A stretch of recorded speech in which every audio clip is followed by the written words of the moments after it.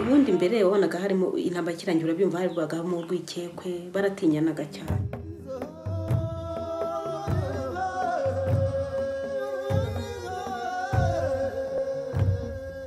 People has to reconcile with themselves and with life because many people were really unhappy to be alive after the genocide.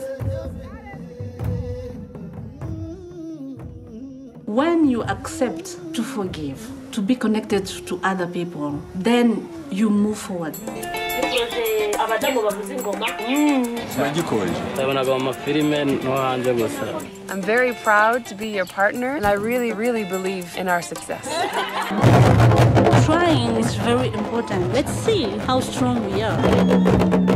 No teeth, just your tongue. This is good. Believe that something is possible, it's done already.